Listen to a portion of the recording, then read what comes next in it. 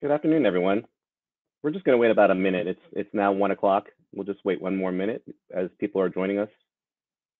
But welcome.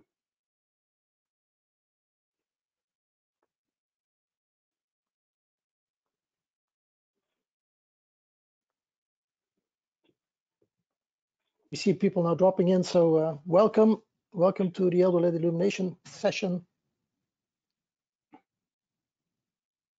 To give it about another half a minute here.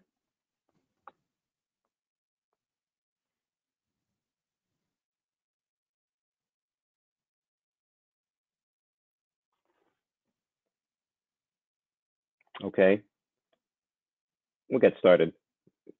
Good afternoon and welcome to today's webinar. It's part one of a two-part series on LED drivers. My name is Ho Chang. I'm a Senior Director of Specification Sales at Illuminations Inc., formerly New York Digital. Today's webinar is presented to you by Illuminations, Acuity Brands, and of course, Eldoled. If during the presentation you should have a question, feel free to use the questions section of the GoToWebinar menu and we'll do our best to address it. I'm, in, I'm pleased to introduce today's speaker. Gé Hulsmans, Specification Service Director at Eldoled, is an expert in the area of LED drivers, with special focus on dimming, flicker, and on compatibility with lighting control networks. Gé works closely with many major lighting design firms throughout Europe, the Asia Pacific, and the US. He shares his knowledge via special training sessions and LED driver workshops. He regularly trains groups of master students in lighting design at a number of universities around the world, including Hochschule Wismar in Germany, KTH University in Stockholm, Sweden, and the Bartlett University College London. His lighting and semiconductor experience comes from his past activities at Philips Lighting OEM, and prior to that at NXP Semiconductors. Please welcome Gé Hulsman. Ho-San, many thanks for this uh, for this introduction. It's uh, it's an honor and a privilege to be able to talk to you today. The uh, the New York City based um, lighting design community, Ho-San and uh, and the team. Um, it's much appreciated by me to be able to uh, to talk to you and thanks for uh, for inviting me to indeed trying to teach you and trying to talk to you today about LED drivers, which is um, for many designers always a tough subject to uh, to understand and to grasp. So this is why I uh, it's my kind of crusade in order to make the lighting design community understand about the importance of a driver when it comes to quality of light, when it comes to the creation of good light. And I mean, many of you have been in in um, in lighting for for many years, I guess. And so in the old days, uh, a driver was a given. Fluorescent lighting or HID lighting, nobody really cared, but you all know that in LEDs, the choice of a driver is crucial because sometimes your dimming is not so nice and sometimes the magic that you would like your lights to to to do is basically not always uh, perfect so um, today i'm um, presenting this webinar for the lighting design community in uh, new york city as said uh, being invited uh, via illumination um, if you're not from new york city uh, feel free to to join as well and if you're not a lighting designer that's also not a problem um, because obviously, hopefully you will learn as such, but I'll address the lighting design community. It's, I hope that's clear to you. So two topics. Uh, it's a two, two uh, part uh, webinar. The first one is today, which I will teach you basically about LED driver basics. I will teach you about proper dimming. I will teach you about flicker, about dimming curves, everything that a driver does to quality of light. And next week, same time, we have a second webinar where we talk about lighting controls, interoperability, and also human-centric lighting. Um, it is sometimes a very technical subject um, because, well, a driver is obviously a very technical component, but I'll try to explain it in an easy way. Um, so it's rather geeky stuff, but I'll try to make it uh, simple and understandable for all of you. And should you have any questions, not sure some of you mentioned that already, feel free to put them in the questions um, um uh, section of the um, of the webinar. Right, there's not a training that I start by mentioning that we as a component supplier, I mean, in essence, what we do as a company, as Eldoled, is we manufacture and we make things like this, drivers.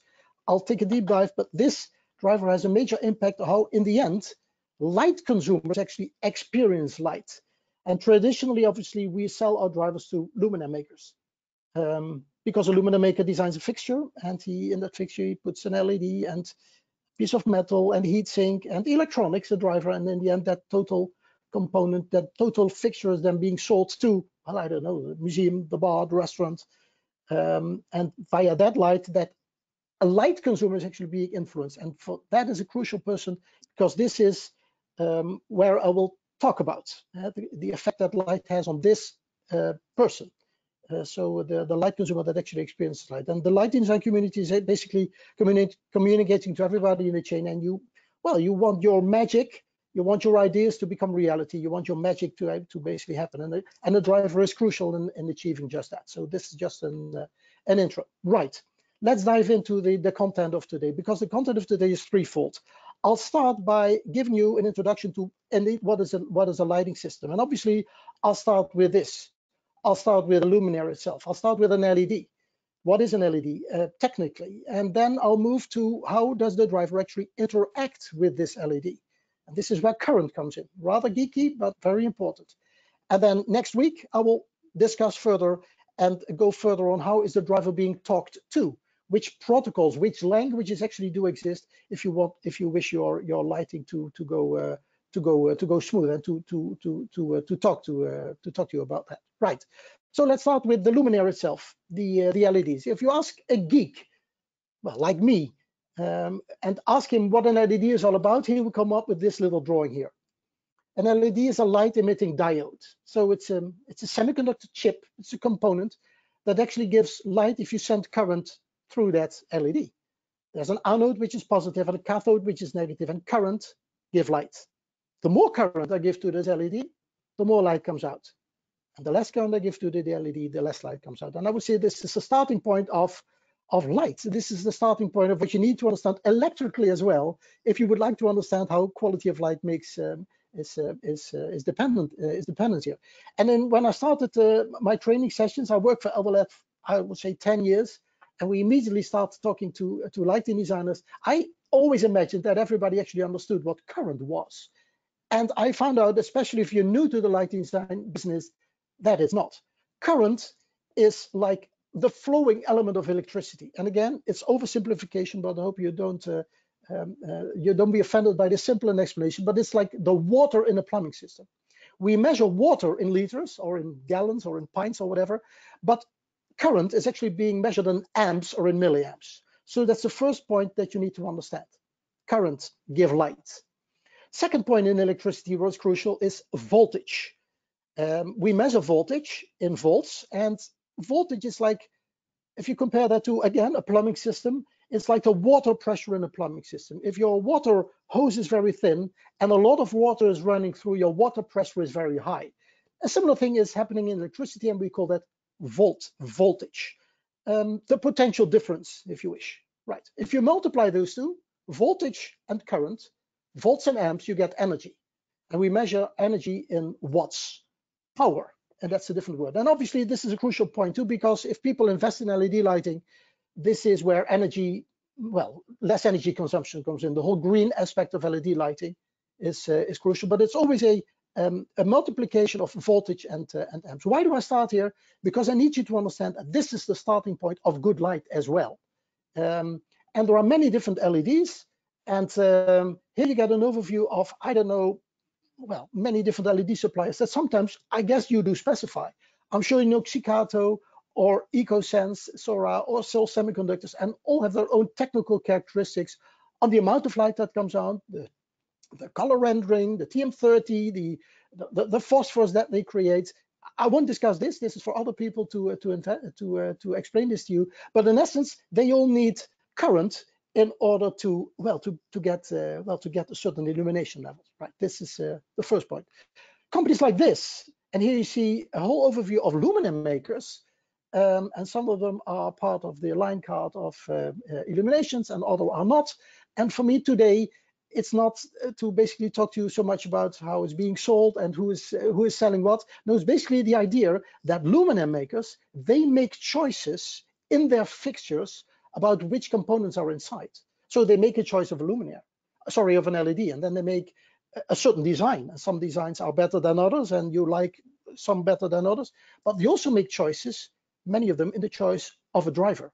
And sometimes that's okay for you in your projects, and sometimes this is not.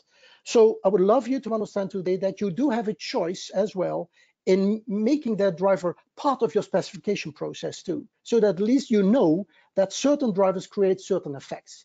And this is what I'm doing, uh, what I'm doing today as uh, as well in uh, in that in that area. So let's go to um, to this to to to to a driver. And if I ask two students, for example, at universities and ask them what a driver is, most of them actually come with rather technical explanations, like it's power conversion and it's I don't know, you get many, many different technical uh, characteristics. What does it do to light is a very simple question, but not so simple to answer. Um, because in essence, what the driver brings to light is rather simple. It's extremely simple actually, because it arranges the LED to being switched on and off at the right light level. So just switching on and off. And secondly, it is about all the magic that the LED needs to do in order to well, to, well, to create a certain ambience. Basically, the proper dimming is being done by the LED driver and also color change of the LED. Suppose the LED can change color. You have a you have a module that can do that. That managing of that color that is also being done by by the by the driver. An LED never changes color, never dims by itself. There's always electronics inside that actually make that uh, make that happen. And if we talk about um, uh, uh, drivers as, uh, as such, um, obviously, if you play golf, this is a driver too. And obviously, we won't talk about this driver today, nor will we talk about this driver. And I don't know if you know, um, some of you might be far too young to understand who his name is David, David Hasselhoff. Um, he, um, he, he uh, the Knight Rider, I'm sure you know him. Um, he drives KITT, and KITT is a car, so he's a driver too. Not will I discuss this driver. No, today it's about electronics in a fixture that basically makes sure that, well, what actually does a driver do? It actually nothing more, if you look technically to what a driver does, it acts as a current tap because the driver is the element in your luminaire that basically takes takes care of the amount of current that actually is being is flowing to the LED in order for that LED to well to get illuminated and to be dimmed as well and this is what I will discuss later in my later in my story so switching it on and off, dimming it, um, technically acting as a tap, supplying the right amount of current towards the LED. Technically, that's what the driver does. And um, many times, and I think in the USA, most of the time, always the driver is actually part of your luminaire. Right? So it's actually integrated into your fixture. I have to say that in Europe, uh, sometimes it's uh, it's different. I don't know if you know that. Um, I'm actually talking to you not from the USA. I am based in Europe. eldoLED is uh, originally a Dutch company, I am based in in, uh, in the Netherlands. eldoLED is based in the Netherlands. That's where I live, and this is where my talk uh, comes from today. And you, uh, with you, it's uh, 1 p.m. Here it's um, 6 p.m. So uh, evening I started uh, over here. Um, a driver is inside inside the fixture, and other names for drivers are ballasts or transformers, and that's all okay. But in essence, it's an LED driver. So how can I make the driver to tell him, well, to tell the LED how much how much current is actually needed in order to do so. So in the old days, and sometimes still drivers, there are dip switches on drivers. Hey, you had a dip switch, 300 milliamps and 500 milliamps and 700 milliamps. And now you know that this actually defines, based on the technical characteristics of the LED, how much light actually comes out. Because if you download a specification sheet from, I don't know, whatever LED is from Xicato, you will see that there's a direct regulation between the amount of current that this LED receives and the amount of light that comes out. The more current I give to that LED, the more light comes out. But if you give that LED too much current, um, now suppose the maximum amount of current that the LED can can receive is uh, I don't know 900 milliamps. You give them a thousand, one amp, it can actually be destroyed. It's like a balloon in the end, the LED. It receives current, it receives water, and at a certain point, the technical characteristics of the LED is such that there is a maximum capacity of the balloon. And if you give them too much, it breaks. So you have to make sure that you really understand how the cooperation between this driver and this LED actually um, actually works. So eldoLED drivers, and I would say all drivers, some have dip switches, but you have to look at this driver as a little computer. It needs to be programmed.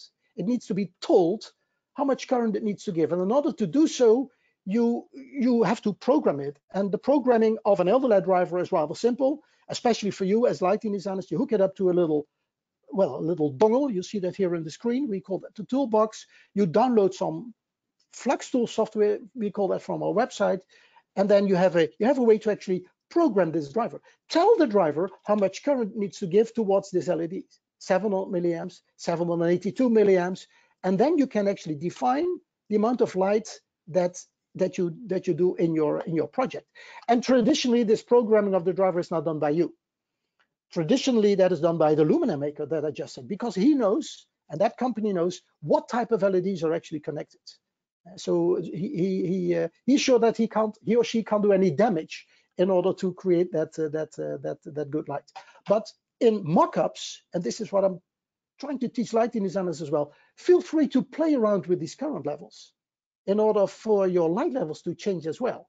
And this is where many uh, many lighting designers actually do play with drivers and play around with them and make sure that uh, they make that part of their design process of and in that idea of bringing that bright ideas into reality. And that's uh, this is what uh, so this is the basic idea of uh, of a driver. I hope you're still with me because now we go to the uh, to the next topic which is dimming.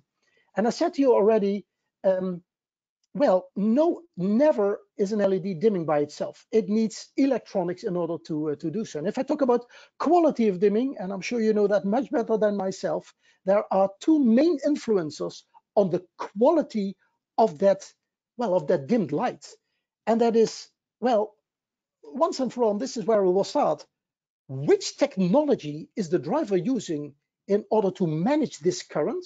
And there, there I will take a deep dive later. This is where lighting technology really comes in.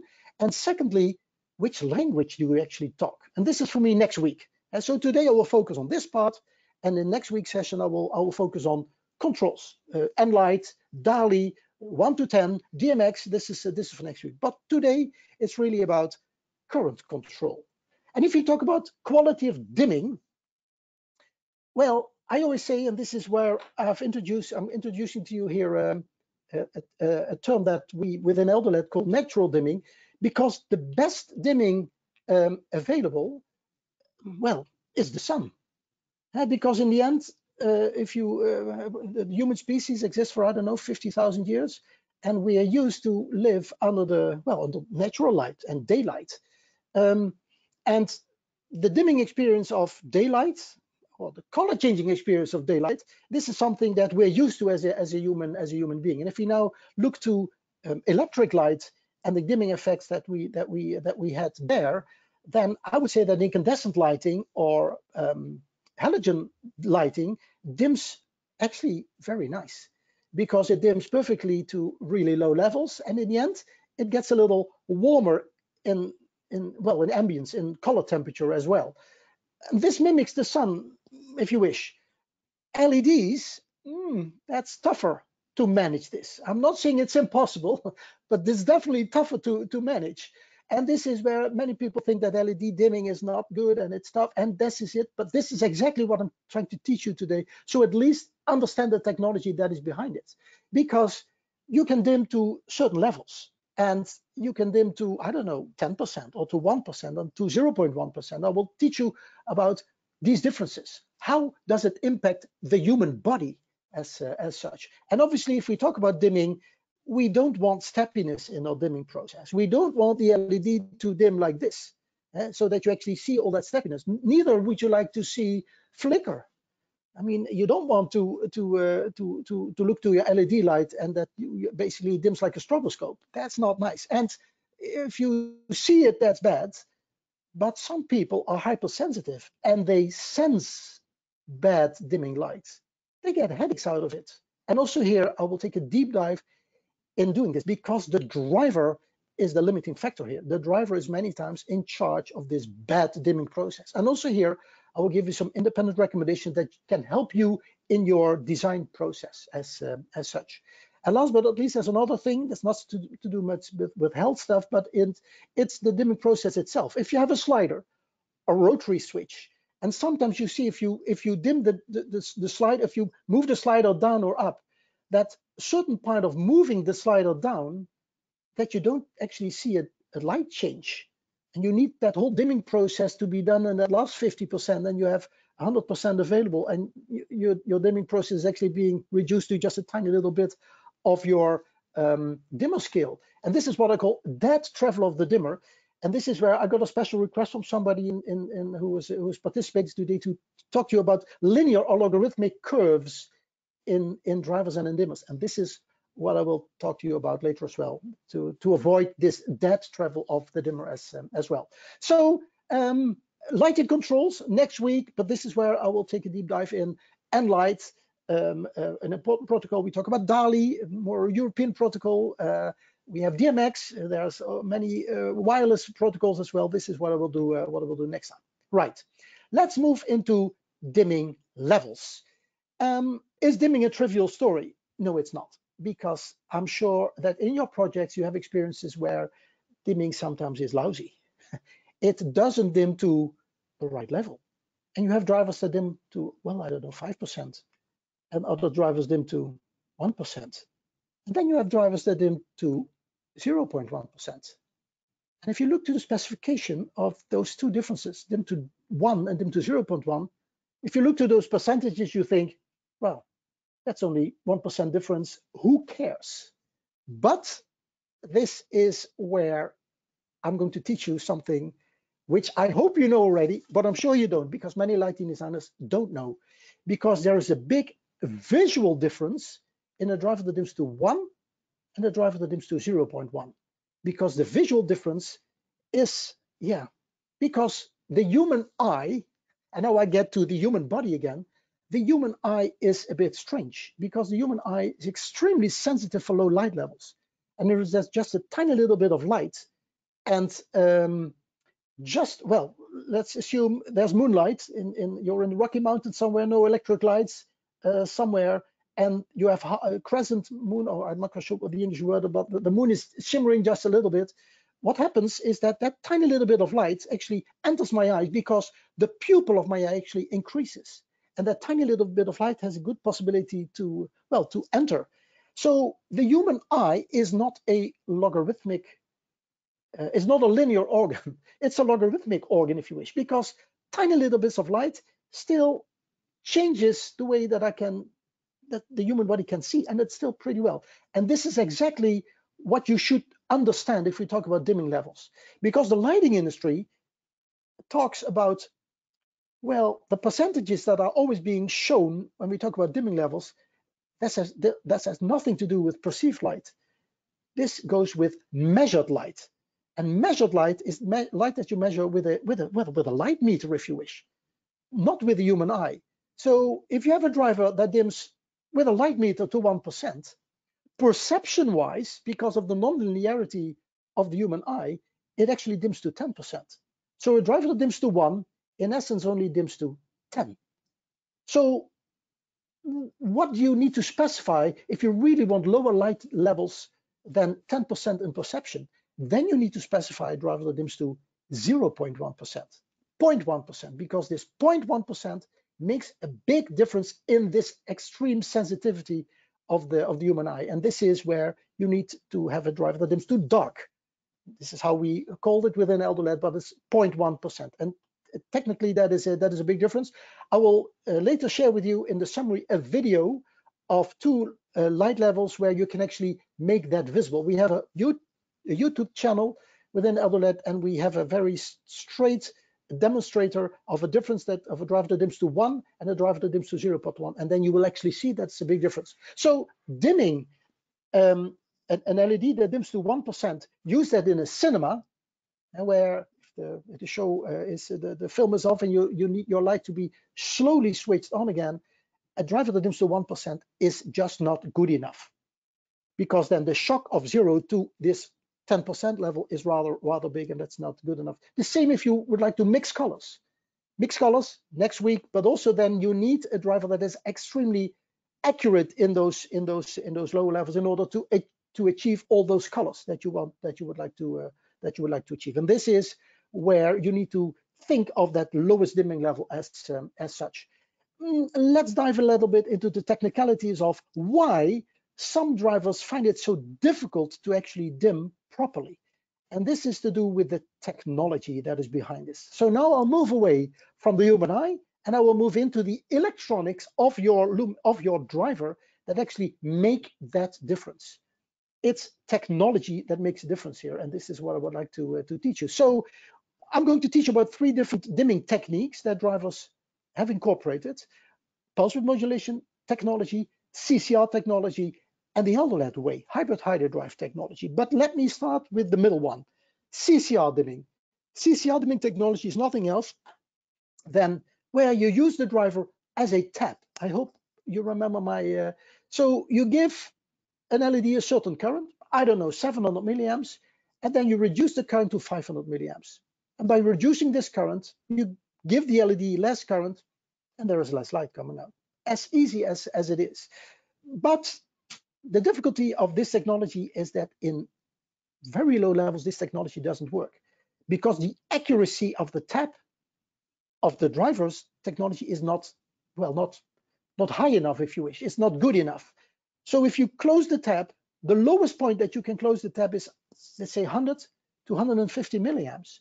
And if you give this amount of current to that LED, you already have a rather big amount of light coming out. And that's not so nice. So the industry has come up with a different technology, which we call pulse width modulation. And I'm sure you've heard this term.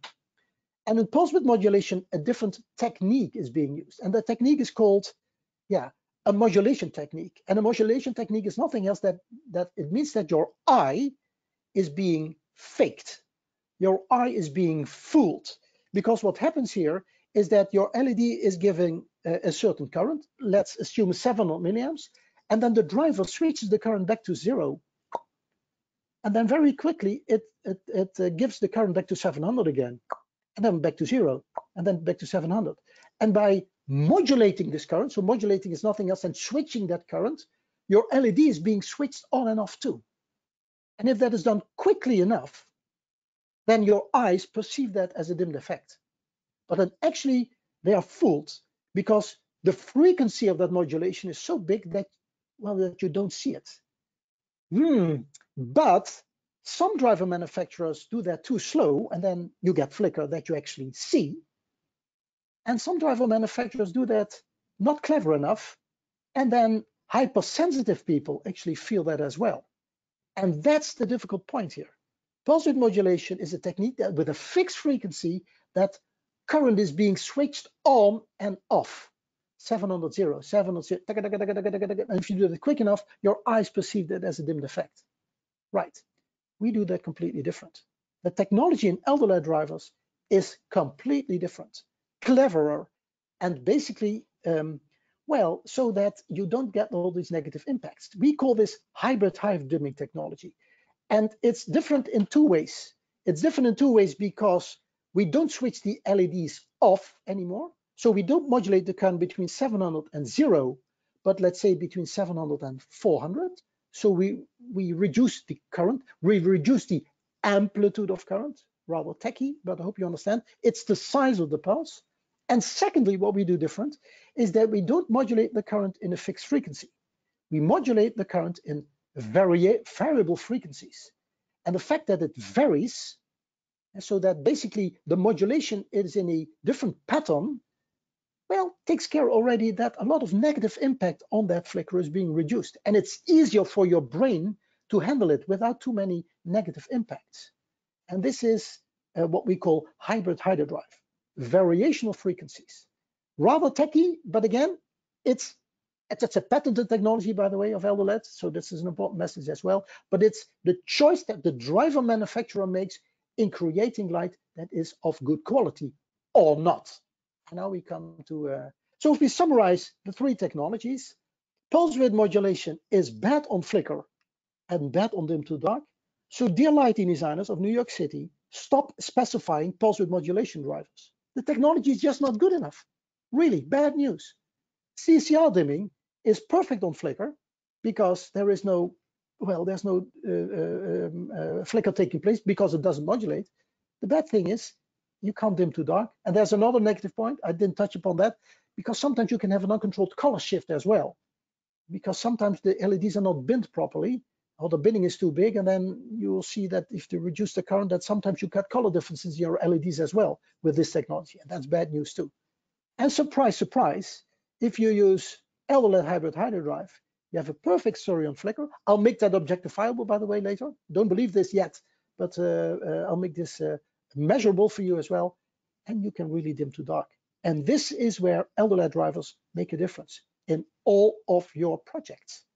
And this is where, again, I'm selling eldoLED to you as well, but it's a technology choice that you have to make as well in, in, in, in, your, in your understanding.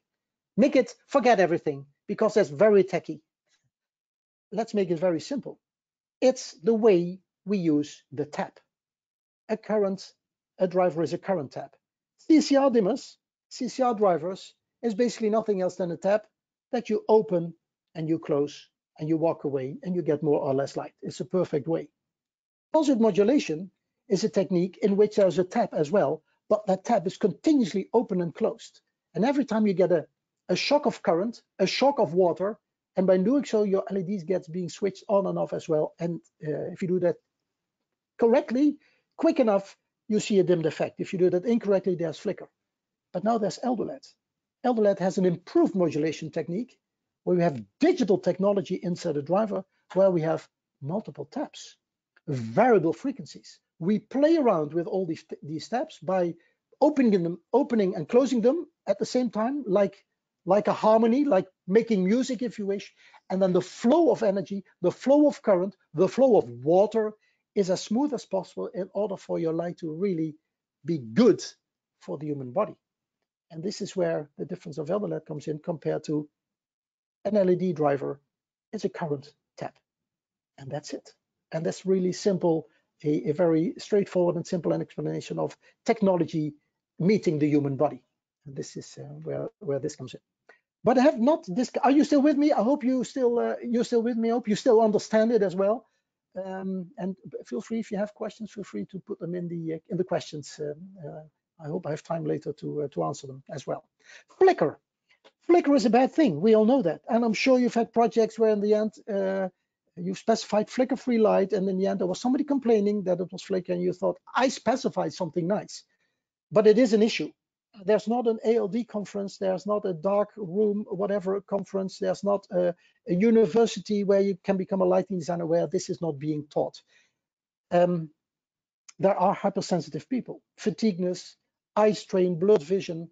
Uh, some people link it to, well, migraines and headaches, obviously. Uh, some people link it to epileptic, epileptic seizures or to uh, autism. No, let me get one thing straight. I am not a medically trained person. I'm not a doctor. I am a geek, and I'm uh, I'm going to teach you as well that there is an international recommendation for you to specify um, that actually help you to make light that is acceptable when it comes to flicker for human bodies, for human beings. And that's what we call the IEEE 1789 recommendation. This is what I will explain to you as well. Next to that, the bad thing about flicker is the impact on human bodies, but there's another negative impact, that's the impact on cameras we would like to avoid this striping in our recordings. Same technology, different problem, and I will discuss this as well later in this uh, rest of the half hour that I, uh, that I have. First, an explanation of what is flicker. Technically, flicker is related to the size of the pulse. You remember modulation of current? The bigger my pulse, the more, the higher the flicker percentage, the more flicker is in my light. That's number one. Secondly, the frequency. I already said to you, it's the quicker I modulate, the better it is. The other way, the slower I modulate, the worse it is. It's like if the flicker is too slow, it's like being in the discotheque uh, under a stroboscope. Everybody moves like this. Obviously, this is what you would like to, uh, to avoid. But these two topics define flicker. And if we know about these two topics, frequency and the um, and the size of the pulse, this is where the IEEE recommendation comes in. IEEE is an international recommendation. I'm sure you know the IEEE um, uh, organization, and they have published um, a recommendation that we specify in all of our drivers. So if you downloaded a, a, a spec sheet from an eldoLED driver, you'll see this graph. And this graph helps you to see if this flicker is acceptable for human beings or not. And it's not only eldoLED who, who, uh, who support this, there are other driver manufacturers too. We have to be honest here. We, Xicato has integrated drivers. They follow this IEEE recommendation as well. And this is good because in the end, it's our objective as well to get better light in the industry. But there are many driver suppliers who do not comply. This is also true. True pulse modulation drivers do not comply. So don't do that. Don't specify them. Right. Let me try to explain IEEE. The first thing you see in the graph is, uh, well, there's a vertical X and a horizontal X. the horizontal X, this is where the frequency is being uh, depicted. And on the vertical X, it's the, um, the size of the pulse, the amplitude. The three colors that you see, green, yellow, and white, those are colors that the IEEE organization came. They defined those colors. If the frequency amplitude components are in the green area, it means that flicker is acceptable for human beings. Green, okay. White, not okay. Yellow in the middle, this is where it is at risk. And now you see all those dots there. The dots that you see in this graph, so not the colors itself, but all the different shape, shapes and sizes of dot, that's information that we supplied as eldoLED, and this is where the data of the driver come in. So basically, this is the characteristics of the dimming process at which amplitudes and which frequencies are being used.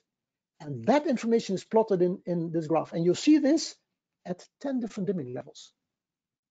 Because you need to understand that if you dim a driver light to 90%, or if you dim to uh, only to, to 10 to, to 10%, you have different ways, well, that, that modulation is taking place. And all of those different components are being plotted in the graph.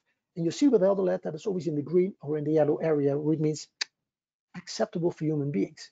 And if you would take a pulse modulation driver, you would see that most of the dots would be in the white area. That would be not okay.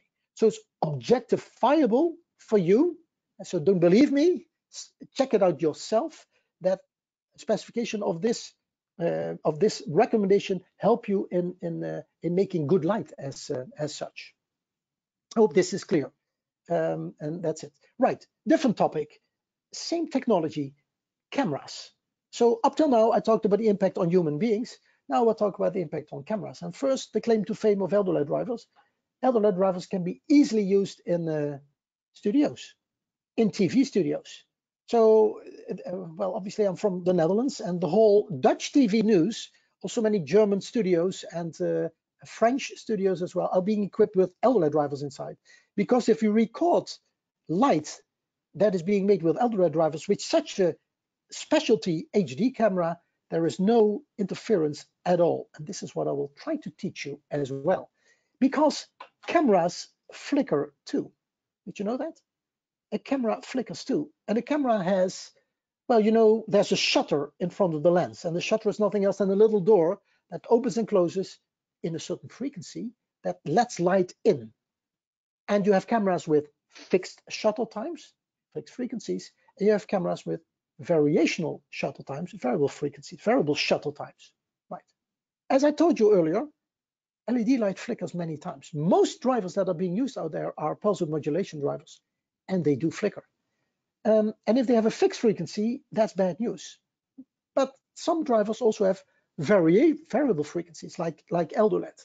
And, and that's something where the match of that driver and that camera, that arranges interference in your recordings. Because if the camera frequency, the camera shutter times, and the dimming frequencies of your LED are 100% in line, if they both dance to the same beat, there is no interference.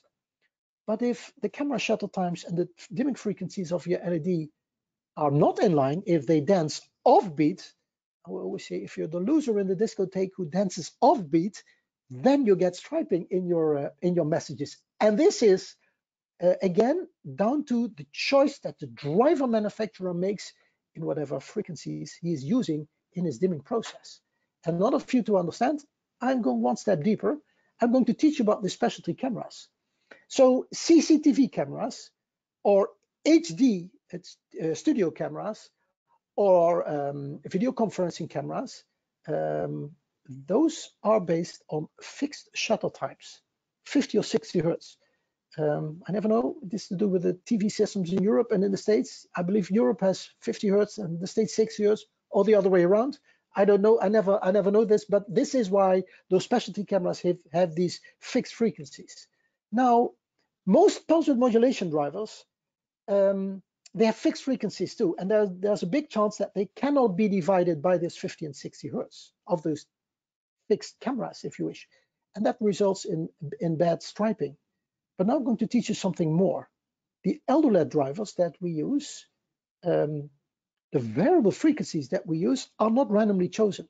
It's not, let's just pick another um, uh, frequency that we use. No, we, we have designed the variable frequencies to be in line with these cameras because we always use multiples of the camera sample frequencies, which are 25 and 30 hertz, which makes them always in line with these specialty cameras with these uh, 50 and 60 hertz cameras. And the fact that they're in line uh, basically make sure that you never have striping or rainbow effects there. So again, a summary, pulse modulation drivers and these specialty cameras, bad news, don't do that.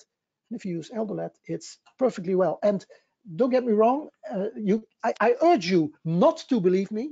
This is an important message too, because uh, you should always, especially the design community, validate whatever is said commercially um, because this can be tested easily. And I've had several lighting designers. There was a big lighting designer in Germany who actually said, hey, good story. I don't believe you. I'm going to do a test. And after that test, he came back to me and he said, you're right. This camera with your driver and three other pulse modulation drivers, with you, it was perfectly nice and smooth. And with all the rest, it was horrible and lots of um, lots of striping. And that's the claim to fame of eldoLED drivers. We can be used easily in this HD or studio uh, CCTV or um, video conferencing environments. I hope you're still with me. I'm going to take a little sidestep, um, uh, two more topics, and then I'll go into the um, um question and uh, question mode. I'm going to give you a little bit of electrical knowledge too, because sometimes I'm sure as a designer you have to talk to electrical installers and they bombard you with technical questions and you think, whoa, I never knew this, or you don't know how to handle this, and I'm trying to give you a little bit of ammunition here in order to talk to geeks, because that's also crucial for you, for your magic to happen. I'm going to talk to you about the difference between AC drivers and DC drivers. I'm going to talk to you about the difference in worldwide power grids. Why is that crucial? And then a very nice one is constant current versus constant voltage. I would say in the questions that, that, that I do receive from design community, this is by far the number one questions I get every other, well, every day basically as well. Right, let me start with AC and DC drivers. Very simple. An AC driver can be directly connected to mains. So there is a mains connection. That's an AC driver. AC alternating current, that is mains. Right. Some drivers, though, are DC drivers. They don't have a mains connection. They have a low voltage connection. It's a bit comparable with my laptop. My laptop here, I have my laptop here. Um, I hope you can see this. This connection that actually goes into my laptop. This is for the power supply, and my power supply is a 24 volt connect. And that has on one side links, and this I can touch that. That goes into into into my laptop, um, and that is uh, uh, 24 volt. Drivers uh, have that too. Some drivers have that too, um, and uh, those are called um, uh, DC drivers. So you, with a DC driver, you need to specify a separate power supply uh, that actually make that uh, make that uh, make that happen. That's uh, that's one. Learning number one: AC DC drivers. In AC, so might be a good time to um, respond to one of the questions that has come up about the AC versus DC drivers. This is in reference to a question regarding PoE systems that operate on DC versus AC. Does does dimming um, improve or or does it? Yeah, that's always a tough question. Yeah, PoE. I actually would like to uh, uh, have this question uh, being uh, set in in next topic because this is actually where controls comes in. Power of Ethernet PoE is always tough. Quality of light is tough to manage there.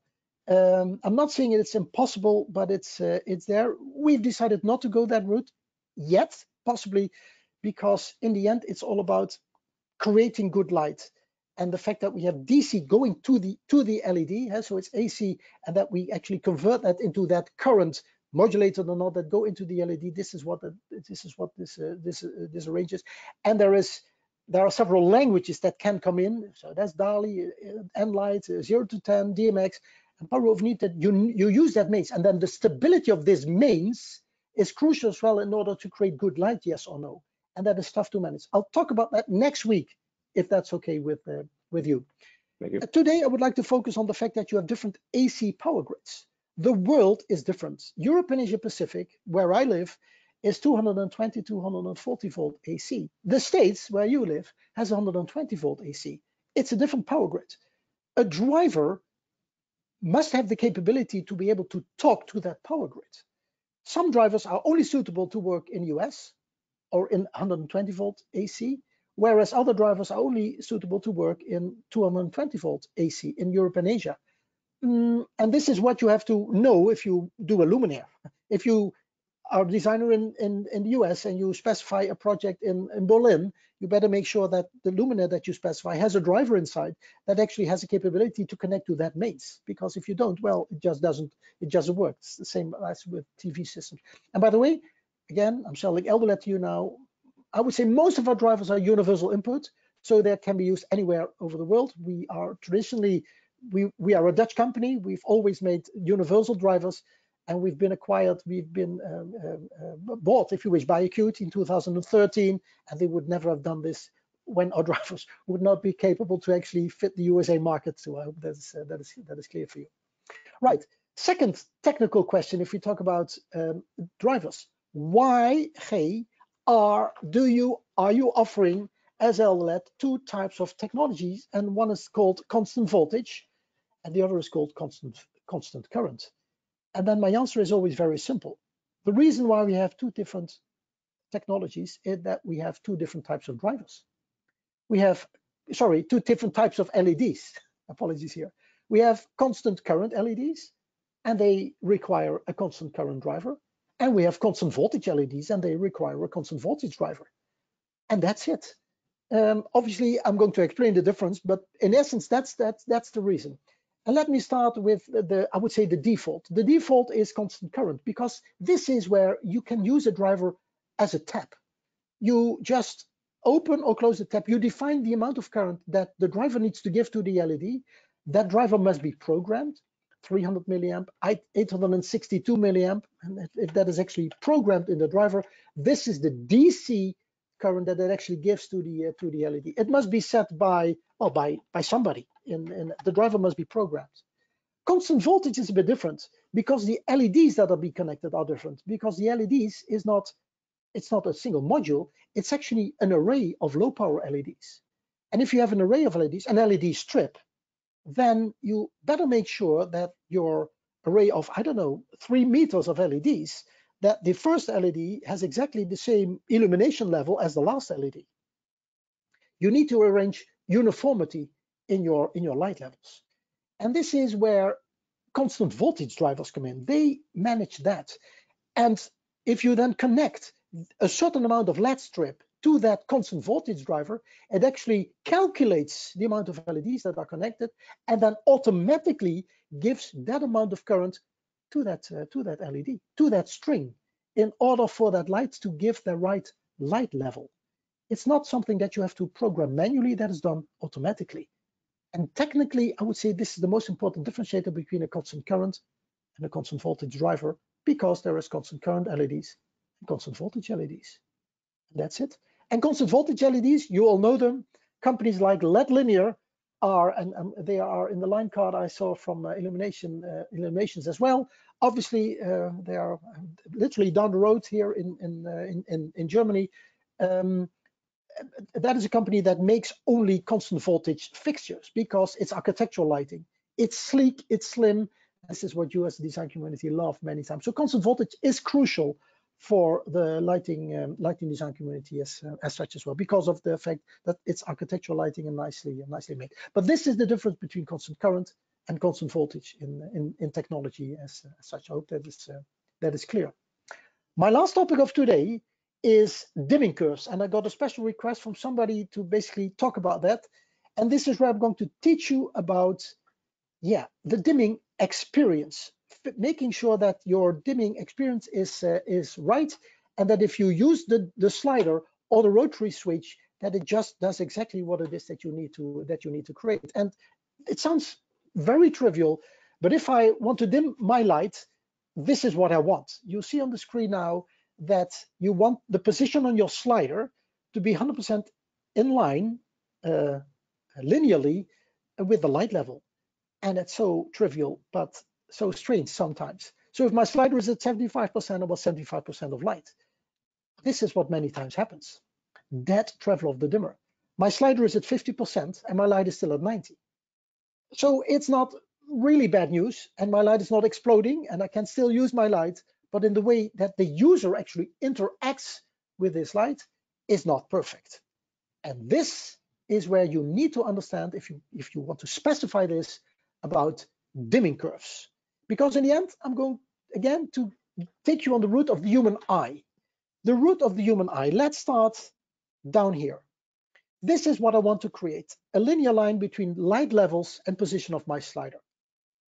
You have to accept from me that the human eye has an inverted logarithmic response. The human eye sees the LED. Uh, knowing that the human eye is inverted logarithmic, I need my LED to be logarithmic because the human eye sees the LED and this is my linear line that I want to achieve. So objective LED to be logarithmic. In order for my LED to become logarithmic, I have two influences. I have the driver and the dimmer or the controller. Um, and again, now we dive into the technology. Not all dimmers or all controllers have implemented the same dimming curve. Some dimmers have a linear curve. And if my dimmer is linear, I need my driver to be programmed logarithmically because my LED needs to be logarithmic and the human eye is inverted logarithmic, and that's what I want to achieve. So if my dimmer is linear, I need my driver to be logarithmic. But the other way around, if my dimmer is logarithmic, I need my driver to be linear. And that's the reason why in eldoLED drivers, I would say in many drivers, there is a choice, again, in linear or logarithmic programming of their driver. It's the same what I just explained to you in setting the current. In milliamps, you can also change the dimming curve of the driver. In essence, it's only for one topic, is to make them better compatible with the control systems out there. Because if they're both the same, both linear, it's bad news they must be complementary. Oh, that is that is understood. I'm going to make it a little tougher for you because some eldoLED drivers don't have two choices, they have four. Four curve selections in some eldoLED drivers, from linear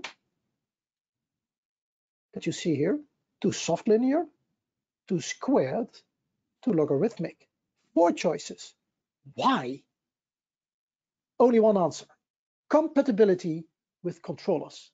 And I will talk about controllers next week, but it's about making sure that that works well, that you have the best visual experience if you start dimming them.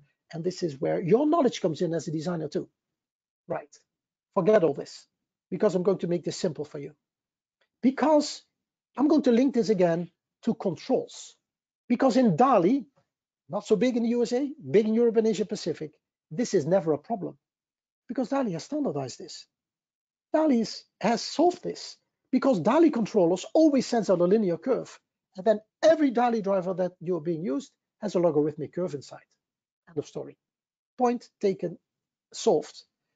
1 to 10, 0 to 10, your world, the USA world, I would say, is not really uh, defined. I would say the default is the same as European DALI. Linear curve being sent out by the, by the driver, sorry, by the the driver should have a logarithmic curve inside. But there are many 0 to 10 volt dimmers or controllers who do that the other way around, like Lutron. Lutron 0 to 10 does it exactly the opposite way. A Lutron 0 to 10 volt controller sends out a logarithmic curve, and then your driver should have a linear curve inside. And this is the reason why we are also fully compatible to Lutron. That's a bit strange because in controls we are competitors, but also here um, we work perfectly well with, with Lutron control and with Crestron and whatever, because we have that choice in driver compatibility, uh, linear, and uh, and it's the fact that you just have to know what you have to specify in order to make it work. And this is uh, this is a choice.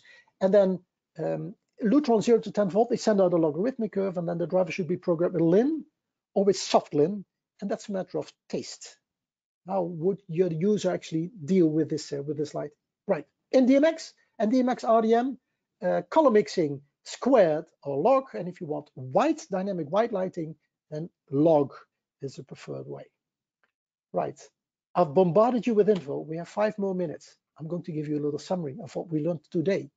Quality of light when it comes to proper dimming, when it comes to flicker, when it comes to interoperability and the controls agnosticness is what the driver offers to you. An LED never ever dims uh, by itself and the driver takes care of the flicker. The driver is the tap. And if you have a stupid tap, it flickers badly. And if you have a clever tap, like EldoLED, then it can dim perfectly to 0.1%. It's lower than dim to dark. You have no harmful flicker because we comply to IEEE. And next week, we'll talk about controls. And this is where we talk about interoperability.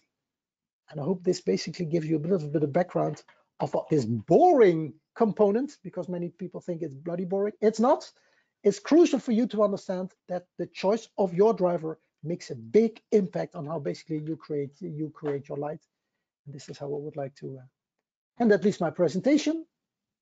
Four more minutes. I'm perfectly well on time. This uh, I'm quite happy actually, to be honest, uh, Ho-San.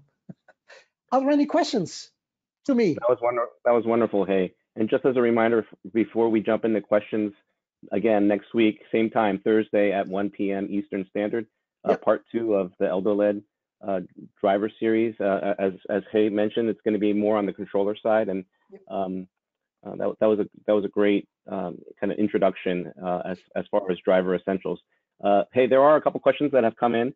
Um, I'm just going to kind of plow through and and answer. I've already answered one of them. That um, if you are going to request a recording of this presentation, we'll be certain to follow up with an email um, to be able yes. to have that presentation available to you. I will um, also I will, I will, include, by the way, in my uh, in my uh, summary email some links to some YouTube films that we made by you can actually see the difference. I have a, a flicker demonstrator as well that you can actually see for yourself. The recording will be shared as well, and I will do that now. And also next week I will do two different uh, separate summaries to all uh, registra registrars. I hope that my English is correct to uh, to uh, to today's session. Okay. Um, also, uh, okay, one, one other individual is asking if um, if the presentation itself can be pro um, provided. Yes, I can. Of course, yes, I can. Uh, I can share that. I can make a PDF out of it, and we can uh, uh have to uh, discuss internally. But I will. I will. If I can, I, I, will forward that as well as a PDF file. Yes, no problem okay, whatsoever. Wonderful. All right, let's jump into a few questions. Uh, so, so here's here's one question. When I dim down one of your drivers, um, believed to be the 100 forward slash S. Um, with onboard DMX level to the to one of 255. They take a linear LED and wave it through the air and can detect stroboscopes. Curious about this. So it's actually a good question. I mean, uh, so in essence, I don't say that our drivers are flicker free. That's an important message because our drivers also modulate the current. The question is, how bad or how good is that? Let me rephrase that. Um, is it good enough for human beings or not? And this is where this IEEE recommendation comes in. So this is where the IEEE actually said certain components, uh, certain combinations of frequencies and amplitudes are okay to use and others are not. So it could well be that if you, uh, sometimes uh, uh, people check for flicker and they, they do things like this, eh, or uh, you actually see that, and and that remains that remains valid. But that's not object. That's not um, objectifiable as such. That's not according to a regulation. So this is what we solve by communicating the IEEE recommendation. I hope that's clear. I'm not saying okay. the drives are flicker free. They're acceptable for human beings when it comes to flicker. Wonderful. Okay. Uh, we're coming up at two o'clock. There's one more question. I just want to thank everyone for joining us today, and hopefully you you've your... already registered for next week. Um, so, so this this other question, Gé, is uh, also from the same individual. Um, so they love the 211D. Yes. But does EldoLED have a mains voltage zero to 10 volt unit? Um, Ooh, they use. Question. No, no, we so don't. They, Unfortunately, we don't. No, no, okay. no. It's also it's a, it's a DC driver, and it's one of the few constant voltage zero to 10 volt drivers available in the market because technically that is bloody difficult to to manage and unfortunately, really, and unfortunately not available in mains, uh, only in the in in in the DC in the DC variant, and then you specify a certain controller. So the answer to your question is no, unfortunately. But you Okay. can still have perfect zero to 10 volt constant voltage dimming. That's very rare. All right. Thank you very much, Gé. And thank you everyone for joining us today. Thank you for your time, and, and I hope to see you all again uh, next week. Okay. Take care, everyone. Bye bye. I remain I remain on because you never know if another question might pop up, and uh, I have a I have a possibility to still answer that.